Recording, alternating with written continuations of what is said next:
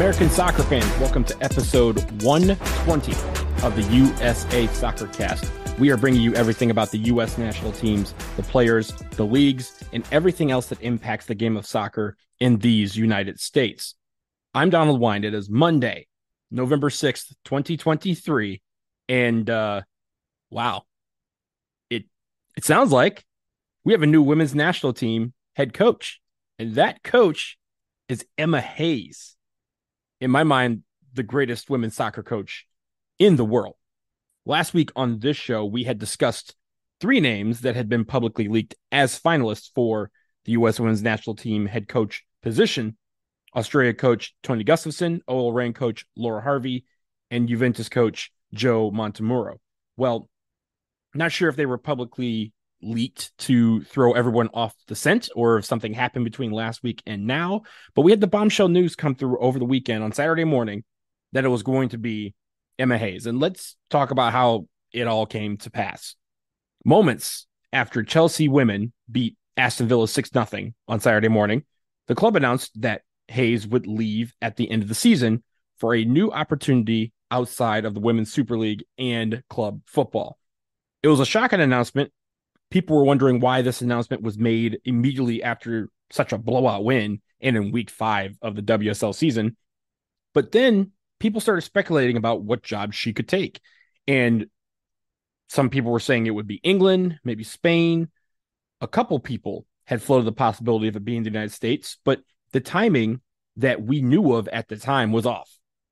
U.S. Soccer sporting director Matt Crocker had stated that they wanted to have the coach in place by the upcoming December international window so that we can start full preparations for a busy 2024 schedule that includes the W Gold Cup and the Olympics. Twyla Kilgore had been coaching the team on an interim basis since Vlatko Andonovski resigned following the Women's World Cup. So for a lot of people, and I was in this camp at the time, the timing felt off. And it didn't seem like the United States would be the next destination for Emma Hayes. Well, very soon, Joseph Lowery of Backheeled broke the story that Emma Hayes was leaving Chelsea to become the U.S. women's national team new head coach, which was very quickly confirmed by Equalizer Soccer and then later ESPN and The Athletic. And it's unclear what will happen between now and the end of the WSL season in May. It's been reported that Hayes may be working with the women's national team in the meantime during international breaks and then an assistant would take control of the day to day in the interim until Hayes is set to fully take over. And there are some that would think that with Hayes not being able to take over in full until late May, early June, depending on how far they advance in Women's Champions League, U.S. soccer is kind of punting on those big tournaments next year. Hayes would not take over till about two months before the Olympics begin in Paris. However, it's clear that Matt Crocker has kind of said we're willing to wait and make those sacrifices to get the right coach. And US Soccer's board of directors reportedly approved the move late Saturday afternoon, and her salary is expected to make her the highest paid women's national team coach in world history. Record breaking is the air quotes that was used. And she would deserve that. When it comes to Emma Hayes, her accolades list is as long as a summer's day. Her coaching career started with the Long Island Lady Riders, then of the USLW League, that's all the way back in 2001. Believe she was not even 25 years old when she started coaching. She coached there two seasons. She moved to Iona for three seasons. And then in 2006, she moved to Arsenal to serve as a first team assistant and then the academy director. In 2008, she came back to America to coach the Chicago Red Stars, which was then in the WPS. She was there till 2010, where she served as technical director for the Western New York Flash, who won the WP who won the WPS title in 2011. She then went to the Washington Freedom for a year as a consultant before taking over at Chelsea in 2012. So she's very familiar with American soccer. She has said on many occasions that her experience in America helped shape her career. She said to Chelsea TV once that despite the fact that she was born in England, she, quote, definitely was made in America, end quote. However, moving to Chelsea is where she became the best women's soccer coach in the world, in my opinion. She's won six WSL titles, including the last four in a row. She's won five FA Cups, two League Cups, and a Community Shield. She also led Chelsea to the Women's Champions League final this past season, losing to Barcelona. Individually, she was FIFA's the best football coach in 2021. She won the WSL Manager of the Season award six times. She's in the WSL Hall of Fame, inducted in 2021. She also is a member and officer of the British Empire. Very few coaches have accomplished what she has on the club level, and that alone should excite American fans about the future of the women's national team. And the main thing this signals to me is that U.S. soccer is serious about changing how the program operates, and they're serious about embracing the changes necessary to return to the top. Bringing in Emma Hayes shows their commitment to getting back on track and hopefully will allow her the control necessary to do that. We're going to pause for a quick break. Next up, we discuss Emma Hayes' tactics and style of coaching and what we could see from the women's national team with her in charge. So stick around. Hey everyone, are you looking for the latest gear for your U.S. national teams, Major League Soccer, the NWSL, or any other team in the world of soccer? The USA Soccer Cast has affiliate partnerships that are ready to help you out. Head to linktree.com slash USA Soccercast where we have links to Homage, Fanatics, the MLS store, and Breaking Team.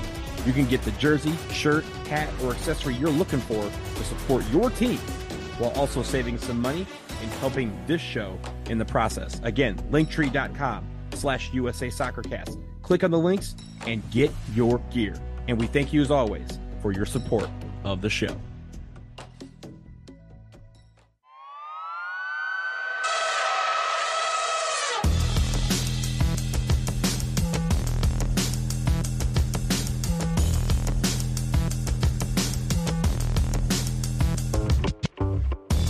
We're back, and as we mentioned before the break, Emma Hayes is expected to be named as the U.S. women's national team head coach. And I am super excited about this, as are a lot of fans. And we're going to get into some of what excites so many people about Emma Hayes coming to coach the national team, her coaching style and philosophy, as well as her tactics. And Sophie Lawson wrote a great article over at ESPN. I'm a big fan of her work. And the article focused on describing to women's national team fans what they are getting in coach Emma Hayes and what they can look forward to on the field. And let's start with how her teams tend to play. Initially, she put the emphasis on clean sheets and attacking from the back. And more recently, she's shifted that focus to defending from the front and being aggressive on the ball. One of the best things about Hayes is that she's a coach that identifies what her players can naturally do well and put them in formations and positions that allow that to permeate. The team comes together, everyone playing in natural ways while still embracing the philosophy of being aggressive as a unit, pressuring the ball and forcing turnovers so that they can capitalize on them.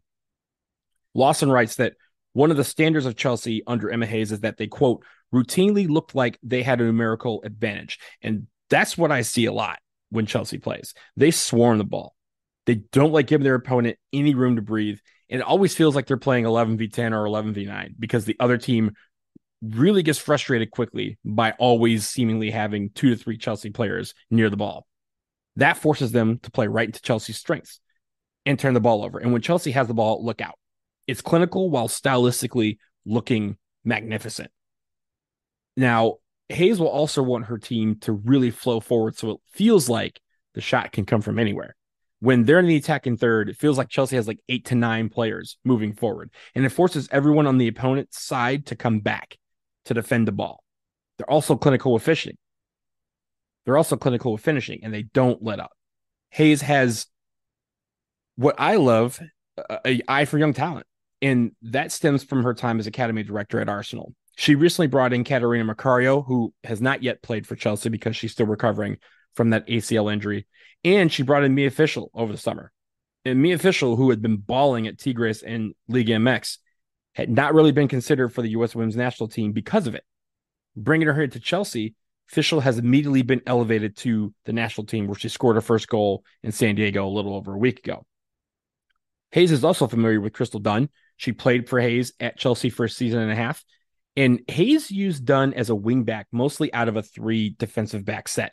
And it kind of helped shape Dunn from a forward into the best left back in the world, a left back that can move forward and use her creative abilities to set up the offense. So Hayes has always had an eye for talent, and she's always been scouting some of the young players that could be a part of the core of the national team moving forward. Hayes also recently wrote some thoughts on the women's national team, and it's interesting that these thoughts were posted after the Women's World Cup and what the women's national team, the U.S., should consider doing after they crashed out in the round of 16. And it's interesting reading then what she wrote then and applying it to now when she might be taking over the team. And she writes, quote, there's still a huge amount of talent in this US team, but with so many of the squad playing solely in the NWSL, it doesn't offer enough diversity to their squad in terms of playing against different styles. Here in Europe, where you're playing in different competitions, Champions Leagues or Cups, players aren't going to be phased by other things because they come up against different football week in, week out. End quote. She then went on to say, quote, overall, I think America are massively short of creative talent. When you're playing against more well organized teams, better coached teams, you have to break them down. And that breaking teams down is a combination of strategy, tactics, and personnel. And I don't see that they have the personnel to do that. So, thinking about what she wrote, overall, she wants versatility. She wants her teams to be uncomfortable playing against an array of different styles so that when it comes to crunch time, they'll be comfortable if they see anything. Will this mean you'll see a ton of U.S. players moving to Europe with their next club contracts. I'm not entirely sure about that. The NWSL, in my mind, is still the best league in the world where the best have come to play. But you'll probably see some players head to Europe in the next few years. And within the higher ups of the NWSL and US soccer, that hopefully means a push to get more competitions in place to help the league thrive and for players to play different styles in high profile competitions. We're talking about a US Open Cup, a CONCACAF Champions League, those sort of tournaments. On the national team level, it could mean a change in who the team plays and where they play. The teams that they struggle against, this, you know, Sweden, England, Australia, Spain, Germany, we could be seeing them more. I think that would also mean that diversity in who we play and how we play them should mean that the United States plays more games on the road instead of trying to bring more teams to the United States. At least I hope so. Part of developing a squad that can handle different styles of play also includes learning how to operate in hostile environments. And we should have more games against Sweden and Sweden, against England at Wembley. Head to the office to play Jamaica, head to South America to take on Brazil or Colombia, head to Australia, go to Japan or South Korea. I, I personally think it would be cool for the United States to play on every continent at least once during a four year World Cup cycle. Not just because it'd be fun for me to travel and for a lot of our friends to travel to watch the women's national team play on the road, but to prepare for World Cups, you need to embrace the fact that walking into every stadium at that World Cup, short of it being here in the United States, you may be entering an atmosphere that wants to see you lose, no matter how many tens of thousands of Americans make the trip. I'd love to see what Emma thinks of the prospects of having fewer home games for the United States. The women's national team, between the end of the 2019 Women's World Cup and the start of the 2023 tournament, played 50 friendlies, and that includes She Believes Cups. Only nine of them took place outside the United States. So Emma may look to change that. And finally, it's clear that Emma never wants to be outcoached ever. And I love that part. She's going to want to tactically approach each match knowing she has the pick of some of the best players in the world, and she will not have a team falter because she was not prepared to face the other team and their coaching staff. She's going to develop a winning strategy. She does that time and time again. She places players in the positions that will make them the most successful and will have them playing hard and together as a team. She's going to play the kids and she's going to get our team younger, hungrier, and make it where no spots are given. I can't wait for that. So shout out to Sophie Lawson for that awesome article and deep dive. I learned a lot by reading it, and I will link to it on the show notes as well as the article that we placed about this episode at Stars and Stripes FC. The official announcement from US Soccer of the hiring of Emma Hayes has not yet happened, but I think we all expect it to happen this week so that we can figure out how the next few months work for the program. But this is incredible news. And I know I'm super excited and a lot of people are super excited that Emma Hayes seems to be set to coach the United States women's national team for this next cycle. That will do it for episode 120 of the USA Soccer Cast. Thank you so much for listening. Remember, follow us on Twitter. We are at USA Soccer Cast. Don't forget, We have an affiliate program with Homage, Fanatics, MLS Store, and BreakingT. You can head to linktree.com slash USA Soccercast to learn more. Click the links to those sites and support the show while getting the latest gear. And please send us some topic suggestions as we move forward. You can email them to usasoccercast at gmail.com or you can tag us in your questions on Twitter. We'll talk to you again soon, y'all. Peace.